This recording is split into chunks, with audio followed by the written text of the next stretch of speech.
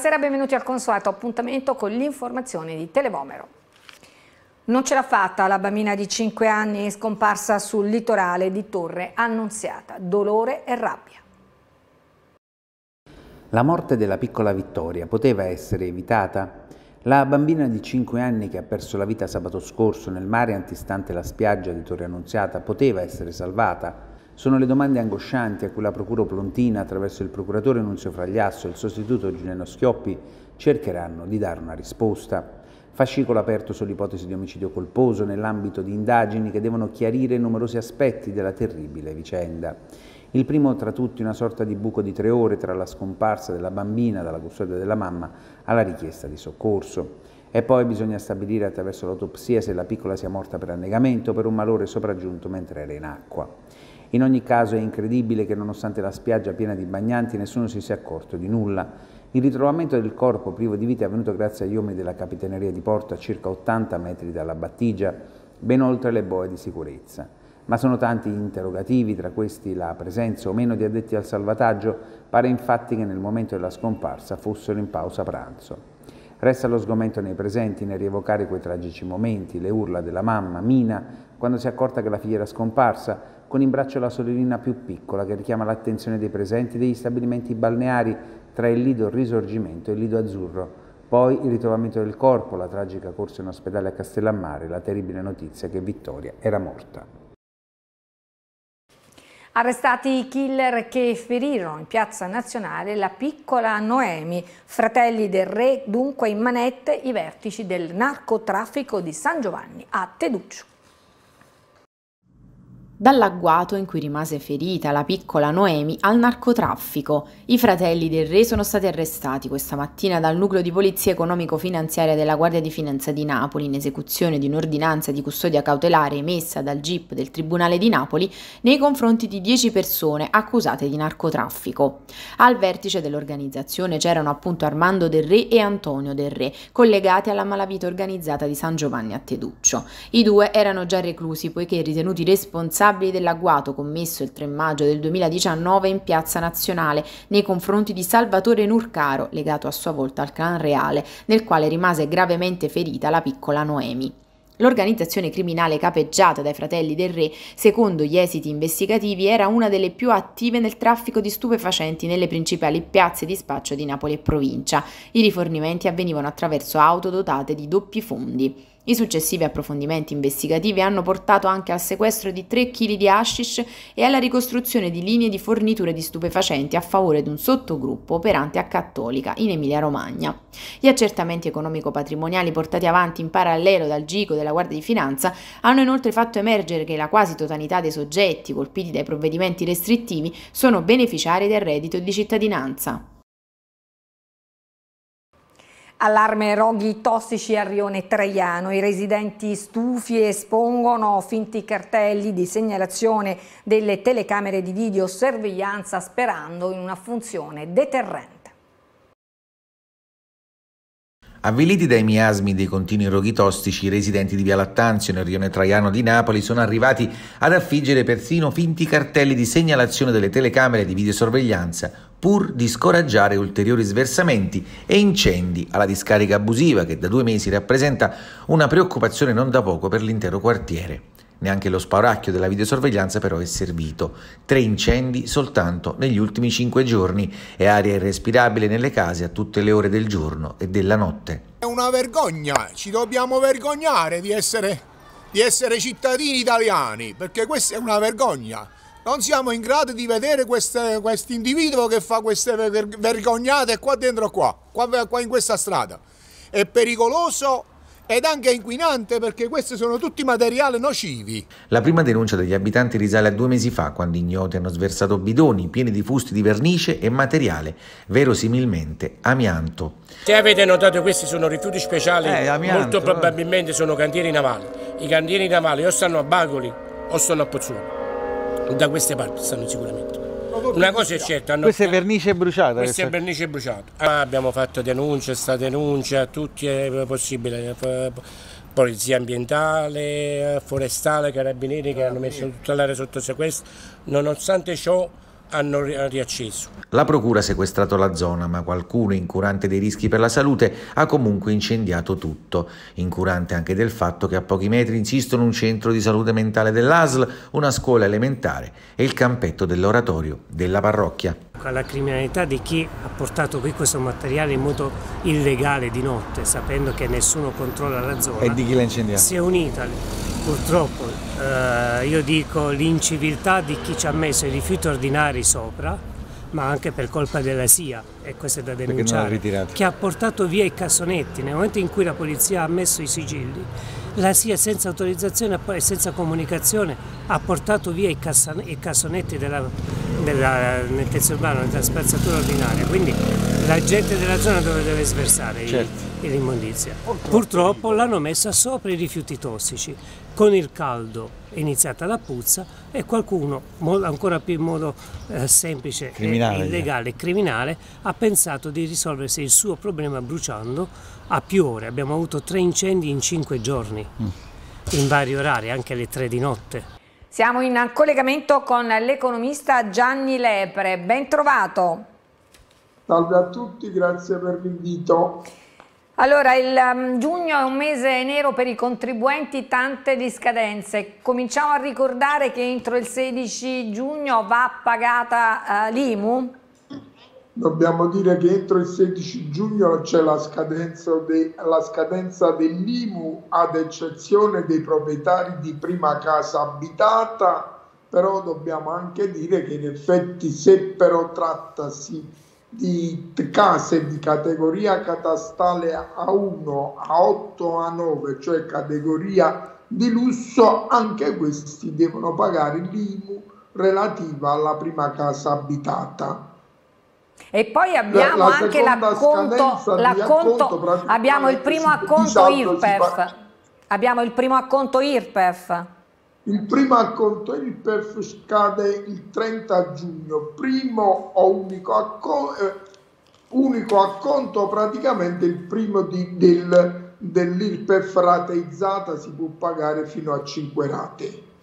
E insomma è un mese indubbiamente difficile. Vogliamo fare chiarezza un po' su questo bonus di 200 euro. Chi lo può avere e come si fa per averlo?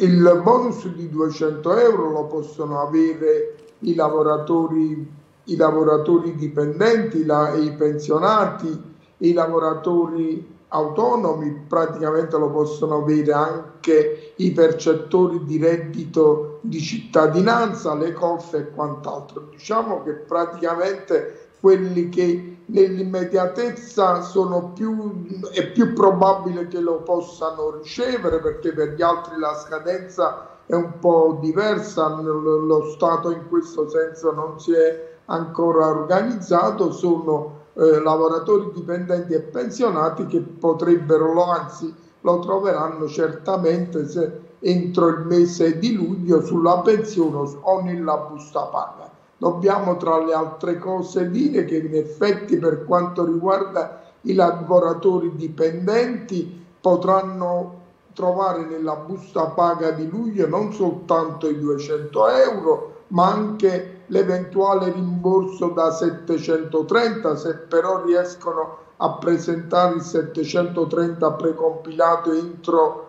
entro il, la prima quindicina di giugno troveranno il rimborso sulla, sulla busta pago o sulla pensione. Tra le altre cose, per quanto riguarda i lavoratori dipendenti, per chi è prevista la quattordicesima mensilità, come per esempio i lavoratori del commercio degli studi professionali, la quattordicesima la troveranno nel mese di luglio. Quindi per luglio si prospetta per alcuni lavoratori una busta paga molto cospicua, molto pesante. Cuneo fiscale.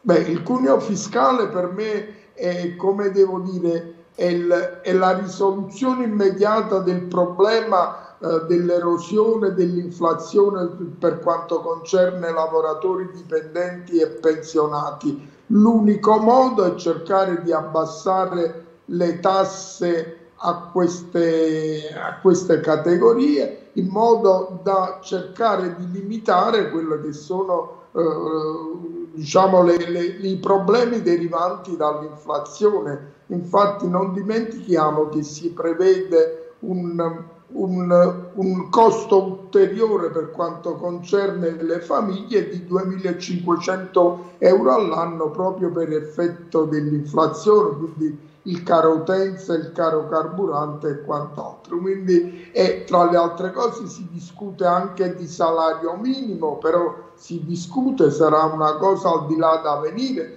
bisogna comunque poi pensarci bene perché naturalmente facendo così si vanno ad aggravare i costi delle imprese, in modo particolare le piccole e medie imprese che già stentano ad andare avanti, quindi a me piace più la soluzione del cuneo fiscale, i lavoratori comunque trovano dei soldi in busta in più, allora naturalmente non, non interessa tanto da che cosa proviene trovare soldi in più in busta, interessa trovarli, in questo caso non graviamo sulle aziende perché gravando sulle aziende si potrebbe accentuare la, proble- la, problematica della moria di alcune di esse, ovviamente con la conseguenza che molti lavoratori dipendenti verrebbero poi licenziati e quindi un aumento della disoccupazione.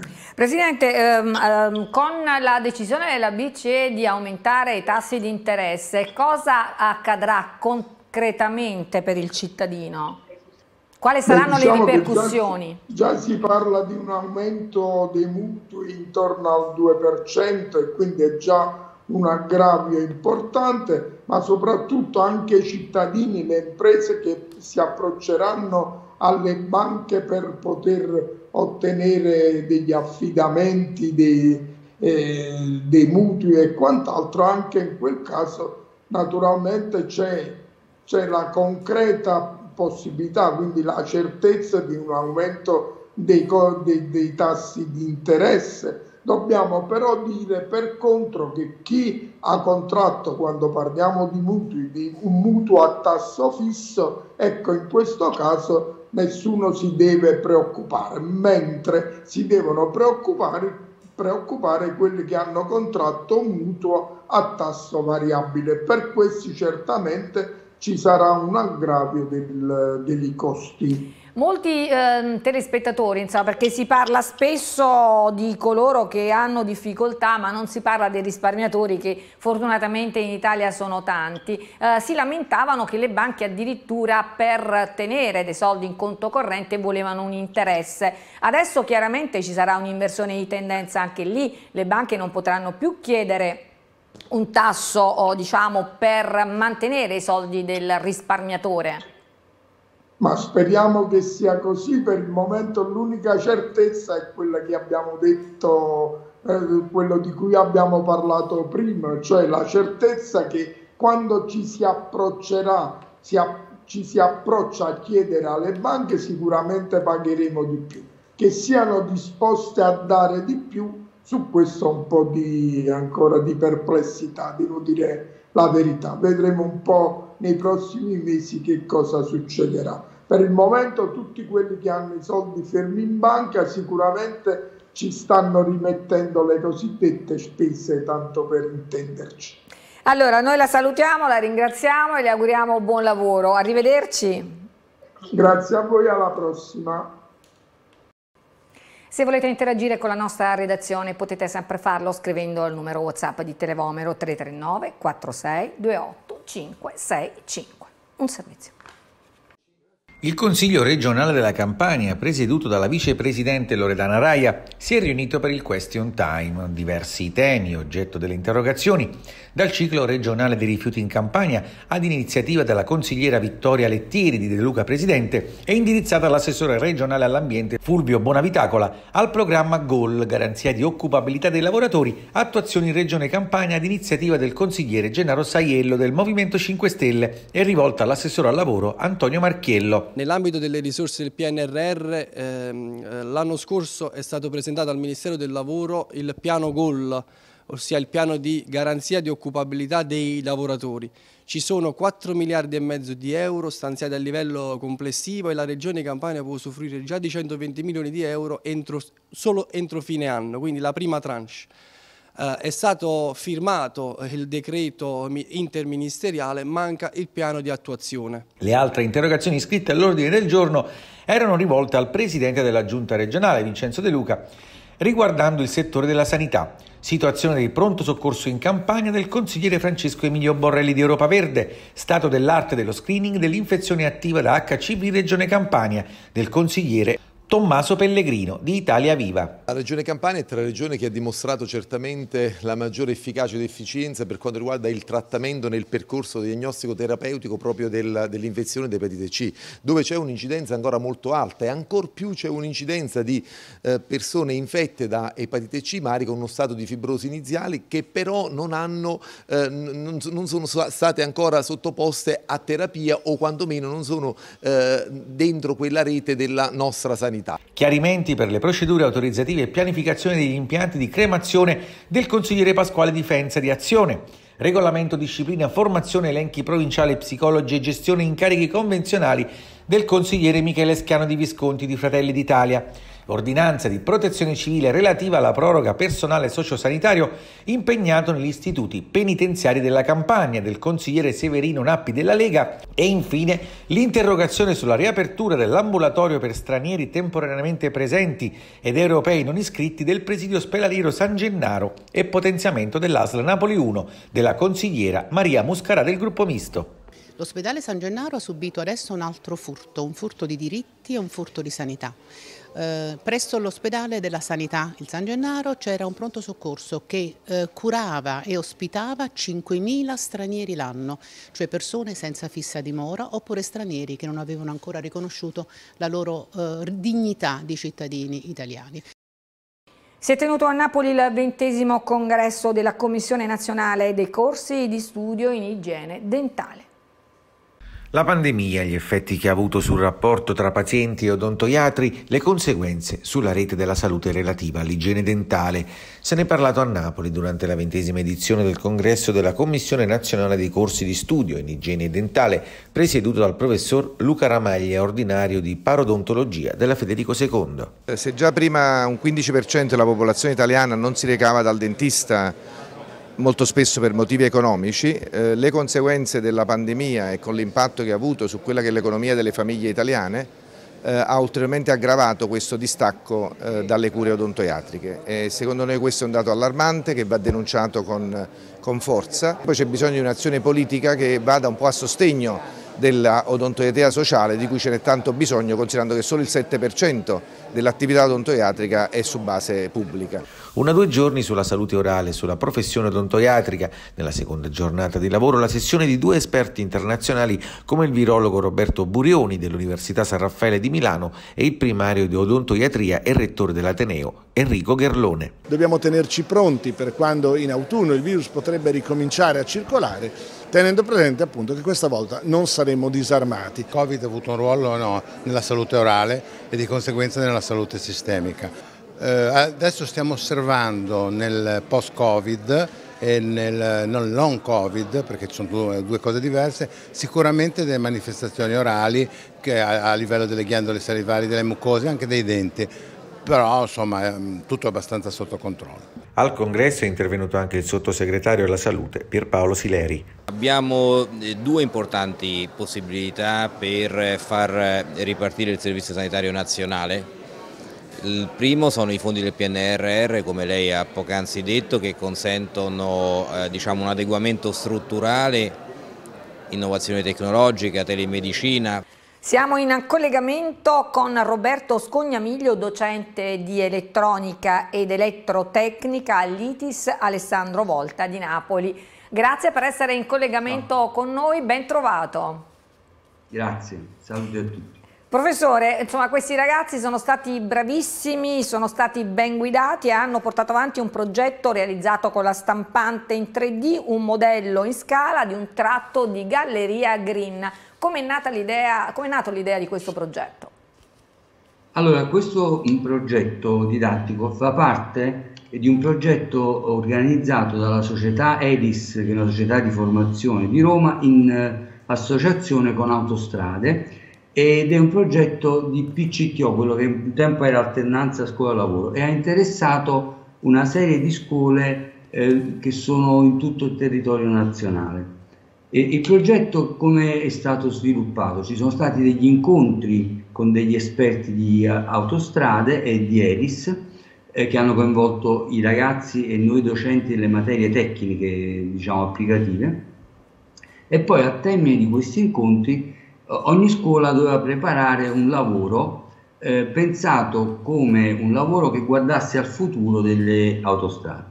Siccome noi siamo un corso che fa automazione, abbiamo che il luogo dove meglio si potesse concentrare la tecnologia lungo il percorso autostradale fosse proprio la galleria.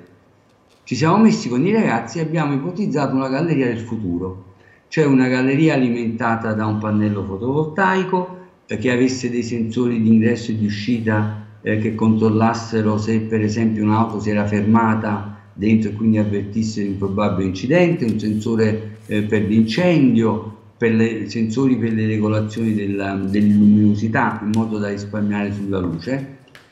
E, ehm, diciamo è stato realizzato questo mm, modello in scala con la stampante 3D. Ecco, qua state vedendo proprio il, um, diciamo, il modello in scala con eh, le prove di collato che abbiamo fatto con dei modellini di auto e sopra c'è il visore dove vengono riportate tutte le informazioni.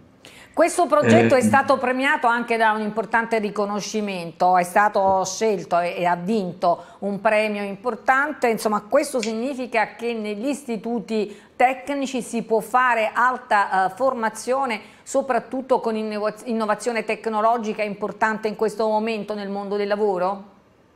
Sì, sicuramente. Io, io direi vorrei utilizzare un po' quello che è la linea guida che stiamo seguendo a scuola ehm, diciamo, guidati anche insomma, come direttive dalla, dalla presidenza. Praticamente eh, la cosa ottimale per i ragazzi è svolgere insieme a noi un compito di realtà e confrontarsi con il mondo esterno. Quindi per esempio in questo caso abbiamo fatto la galleria, abbiamo, ci siamo sottoposti a una giuria abbiamo vinto il primo premio. Questo per capire noi in che punto ci troviamo, no? per farci un controllo e per esempio in quinta, questa l'ha fatto una quarta, in quinta abbiamo fatto un percorso di PCTO che portasse a dei patentini di guida per i droni. Su 25 ragazzi, 24 hanno acquisito un patentino eh, di tipo A1 A3 per pilotare i droni. Quindi applicazioni, eh, eventualmente anche proprio con applicazioni laboratoriali molto avanzate e confronto con l'esterno per capire esattamente noi in che eh, punto ci troviamo, che, diciamo, dove abbiamo, stiamo sbagliando e dove stiamo facendo bene.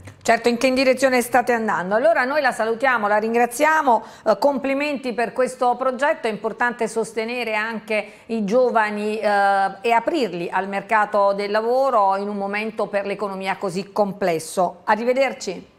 Grazie, arrivederla. Arte, storia e cultura, questi temi della ventisettesima edizione del premio Cimitile.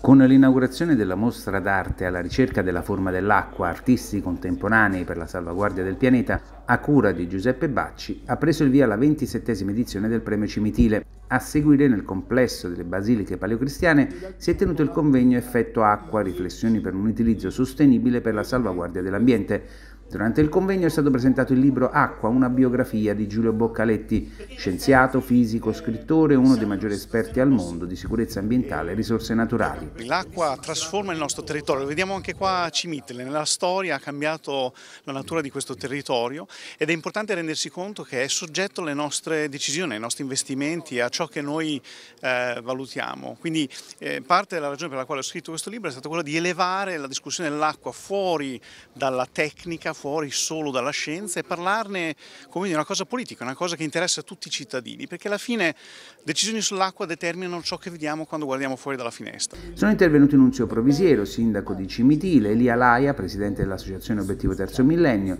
Giovanni D'Antonio, studente del liceo Torricelli di Somma Vesuviana, Michele Buonomo, direttivo Legambiente Campania, lo stesso Boccaletti ed Ermanno Corsi che ha coordinato i lavori. Il presidente della Fondazione Premio Cimitile, Felice Napolitano. Apriamo questa sera con la mostra alla ricerca della forma dell'acqua artisti contemporanea per la salvaguardia del pianeta. Sarà una settimana intensa di cultura, storia, arte, riscoperta del patrimonio pubblico, densa di eventi, letteratura, convegno internazionale di archeologia, musica, spettacoli e concluderemo con la consegna dei campanili d'argento ai vincitori della ventisettesima edizione del premio Cimitile.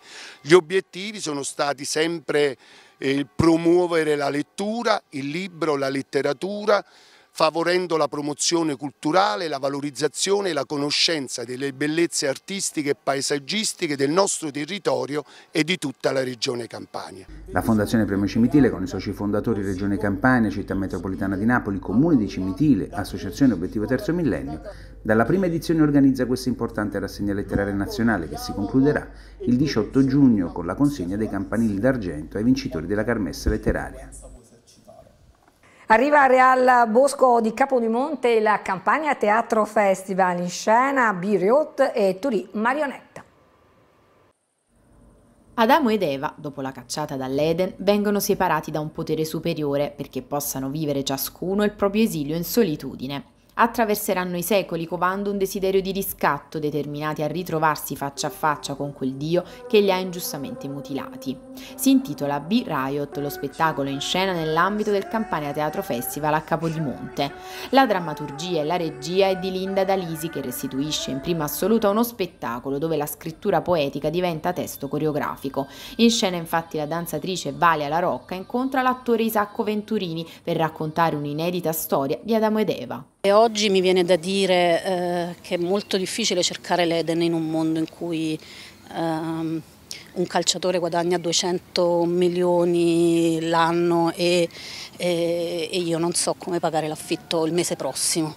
E allora l'Eden allora a un certo punto questi Adamo ed Eva preferiscono farsi piccoli, farsi come due api entrare in un razzo e catapultarsi nel cosmo perché magari da lì riescono a, ad ascoltare eh, le cose belle che arrivano dalla terra. In scena, sempre a Capodimonte, Turi Marionetta, scritto e interpretato da Savi Manna, un monologo che racconta storie di marionette, pupi, pupari e cantastorie. In un atto unico viene rivisitata la storia sociale delle marionette, esaltando anche la grande tradizione siciliana dell'opera dei pupi. Protagonista è il nonno del professore universitario Salvatore Barone, detto Turi Marionetta.